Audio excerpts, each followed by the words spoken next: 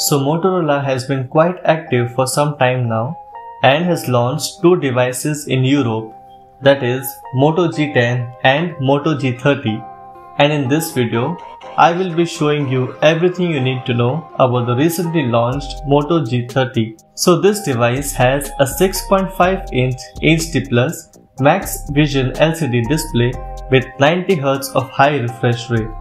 It has a tall aspect ratio of 20 is to 9 Sadly, there is no information about the protection that is available on the display. This device is powered by the Snapdragon 662 chipset, which is an octa-core processor based on 11nm architecture.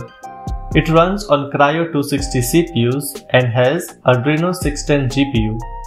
This device has a quad rear camera setup with a 64 megapixel primary sensor 8 megapixel ultra wide camera with 118 degree field of view, 2 megapixel depth sensor and a 2 megapixel macro camera.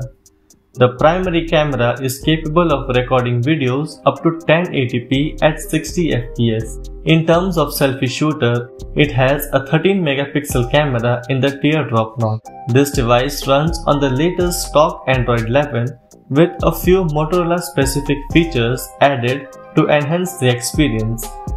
It also has a rear mounted fingerprint scanner which is definitely fast and very snappy.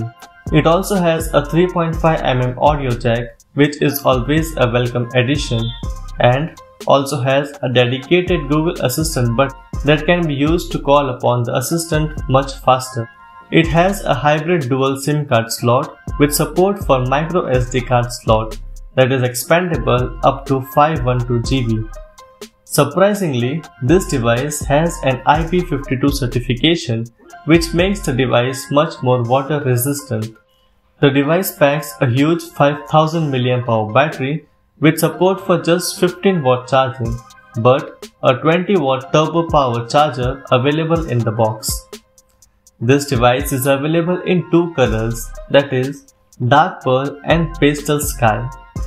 And finally, for the price of the Moto G30, it is available in two variants that is 4128 and 6128 which starts at 180 euros that is 218 US dollars or 15,880 Indian rupees.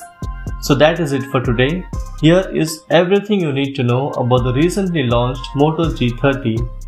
If you stuck around till the end, I really hope that you can subscribe as well.